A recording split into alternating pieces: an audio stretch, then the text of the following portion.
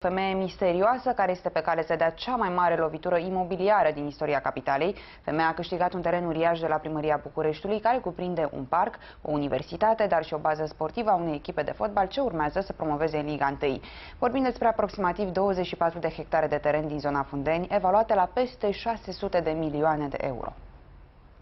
Cererea de retrocedare a fost făcută de Constanța Clara Iliana Mihăescu, o persoană despre care nimeni nu știe mare lucru. Și totuși, este la un pas să devină una dintre cele mai bogate femei din București, sau cel puțin averea ei să crească după ce a câștigat în instanță un teren de 240.000 de metri pătrați aflat în sectorul 2. Mai exact, vorbim despre terenul pe care se află parcul Motodrom de 8,16 hectare, Clubul Juventus București 4,3 hectare, Universitatea Lumina 1,4 hectare, dar și mai multe blocuri, drumuri, alei și spații verzi ce însumează 2,7 hectare. În total, aproape 24 de hectare, evaluate la 600 de milioane de euro, au fost câștigate în primă instanță la Tribunalul București de Constanța Mihăescu. Reprezentanților primăriei sectorului 2 li se pare o decizie ciudată și suspectă. Mi se pare uh, ciudat din două motive. Odată că am înțeles că la baza acestui uh, dosar uh, stă un act care nu prea se poate citi, este ilizibil.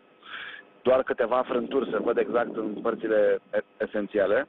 Uh, și am, am cerut și noi actul de la Arhivele Naționale să vedem o copie a acelui act, dacă într-adevăr așa e sau nu. Și o altă uh, parte ciudată este că doamna respectivă a cerut foarte multe zone din București, a pierdut până acum în toate procesele, mai puțin în acesta. Și pare ciudat când o doamnă de care n-a auzit nimeni cere jumătate din, din București. Ca să ne facem o idee despre vastitatea terenului pe care femeia îl poate câștiga în detrimentul primăriei capitalei, dacă decizia magistraților va rămâne definitivă, vă spunem că acesta este de două ori și jumătate mai mare decât arena națională. Unele terenuri vor fi restituite în natură, în timp ce pentru altele ar putea primi despăgubiri. În schimb, parcul Motodrom ar urma să le rămână locuitorilor. Echipa de fotbal Juventus Colentina ar putea fi însă obligată să părăsească baza sportivă, lucru considerat inadmisibil de către președintele grupării. Lucrurile sunt ciudate din punctul meu de vedere, naște și anumite dubii și suspiciuni vis-a-vis -vis de această decizie, pentru că din ce am înțeles, instanța a hotărât ca ceea ce înseamnă, de exemplu, parc să poată să fie proprietarul despăgubit, ceea ce înseamnă baza sportivă să fie împroprietărit. Sunt foarte multe ambiguități în acest, și lucruri neclare în acest dosar. Mai mult, spune președintele clubului Juventus Colentina, patronul grupării a investit o sumă importantă în baza sportivă în ultimii ani, iar decizia instanței face ca întregul efort să se ducă pe apa sâmbetei. Se vorba de mai multe terenuri de fotbal. Noi suntem pe terenul principal, terenul în care joacă prima echipă, avem și celelalte terenuri în care desfășoară activitatea copiii și juniorii.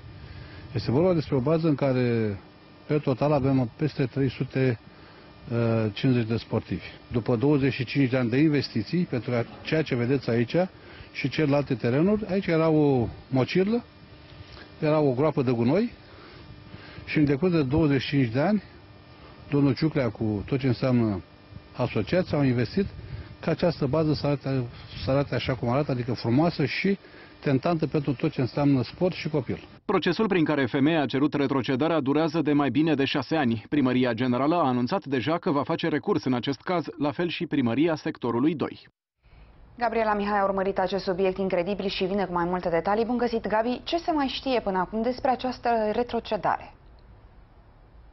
Bună zi, ne aflăm acum uh, chiar pe stadionul care ar trebui să fie înapoiat uh, femeii care a cerut uh, în instanță acest lucru și alături de mine este și președintele executiv al clubului Juventus.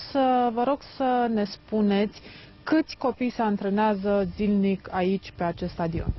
Săptămâna de avut pe terenul principal mai sunt încă patru terenuri pe care se antrenează copiii clubului nostru, aproape 300 de copii copii pe care sau care îmbină partea sportivă cu latura educațională. Pentru că accentul în clubul nostru se pune și pe partea sportivă și pe cea educațională. E trist ca, eu știu, în București, după ce au dispărut atâtea baze sportive, să mai dispară una. E trist că într-un cartier frumos al Bucureștiului, Colentina, care după 25 de ani de așteptări și de investiții, apărând o echipă de prima ligă, să nu poată să-și desfășoare activitatea aici, e trist pentru că în, acest, în acest, pe aceste terenuri sunt lacrimi și transpirații ale copiilor, care știu, poate mai târziu, să nu se transforme în, în, în altceva.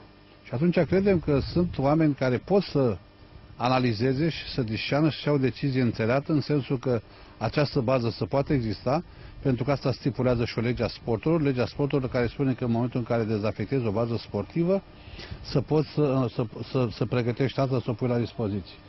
Așa cum s-a găsit soluții vis-a-vis -vis de parc, în care persoane care vendică această proprietate îi se alocă o sumă de bani, cred că Primăria Generală a Capitalei poate găsi soluție și vis-a-vis -vis de această bază sportivă.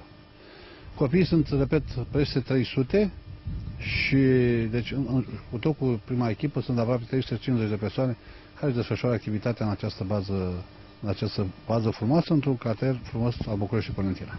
V-ați gândit ce se va întâmpla dacă și uh, decizia finală a instanței va fi una similară?